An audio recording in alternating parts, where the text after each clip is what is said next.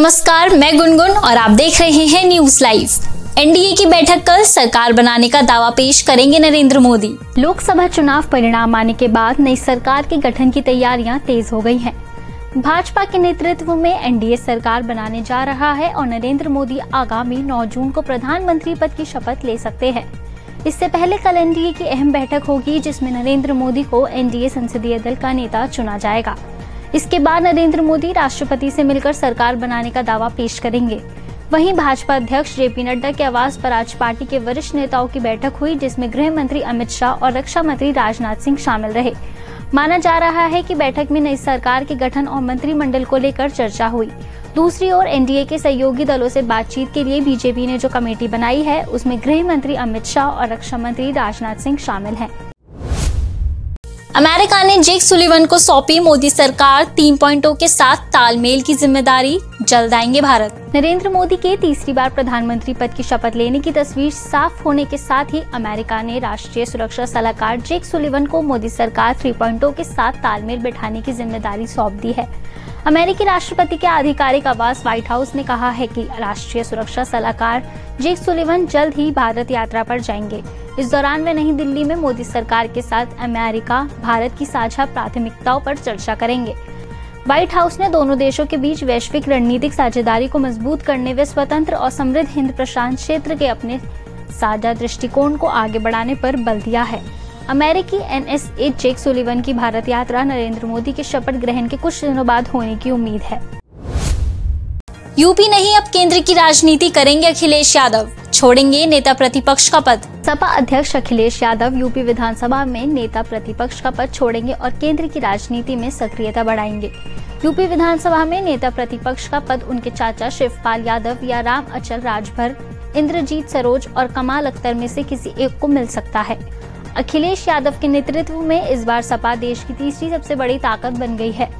लोकसभा चुनाव में तैतीस दशमलव पाँच नौ प्रतिशत वोट के साथ सपा को सैतीस सीटें मिली हैं। मीडिया रिपोर्ट्स के अनुसार अखिलेश यादव अब राष्ट्रीय राजनीति को प्राथमिकता देंगे। इससे माना जा रहा है कि वे विधानसभा से इस्तीफा देकर लोकसभा सीट अपने पास रखेंगे। दिल्ली जल संकट पर सुप्रीम कोर्ट का फैसला, हिमाचल प्रदेश को पानी छोड़ने का आदेश। सुप्रीम कोर्ट ने जल संकट से जूझ रही दिल्ली को बड़ी राहत दी है। कोर्ट ने हिमाचल प्रदेश को एक क्यूसेक पानी छोड़ने का आदेश दिया है। इसके बाद हिमाचल प्रदेश कल से पूरे महीने दिल्ली के लिए पानी छोड़ेगा। सुप्रीम कोर्ट ने यह भी कहा कि हरियाणा इसमें कोई टोड़ा नहीं बनेगा। कोर्ट ने कहा कि हिमाचल प्रदेश 5 जून को हुई मीटिंग में शामिल था और कहा था कि जो अतिरिक्त पानी है, वो उसे दिल्ली के साथ साझा करना चाहता है।